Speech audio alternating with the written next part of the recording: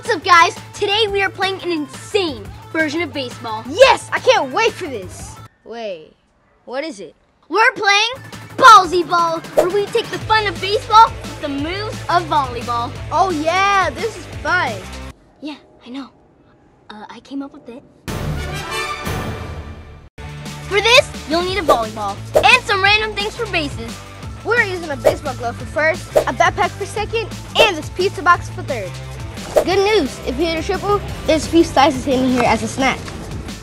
Pitching is more like serving in volleyball. Hitting is a volleyball move like a bump, set, or a spike.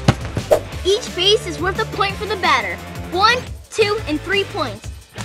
The fielders have to catch the volleyball and try to tag the runner out. If you don't get tagged and stop at second, you got two points. If you try to go for third and get tagged, that's no points.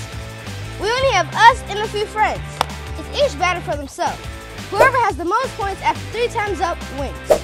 And when you will, today's champ gets to take home the leftover pizza slices from last night. Let's play!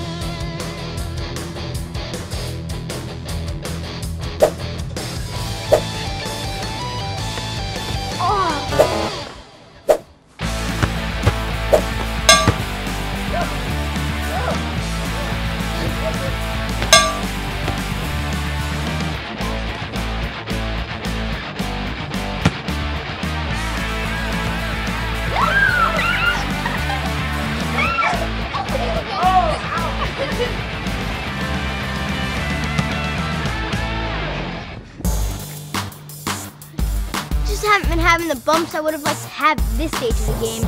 Honestly, going to have to go for the bigger swings to get me that W. I better win before Gavin finds out I've been taking bites of that pizza this whole game. You know?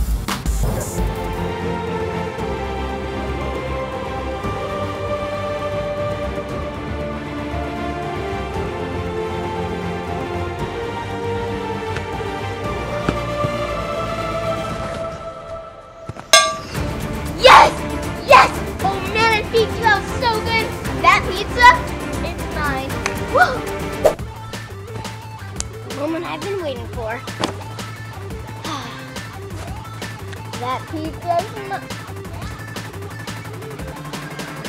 Delijah!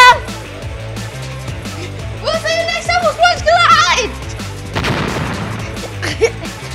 Come on, Sports Collide. Take care.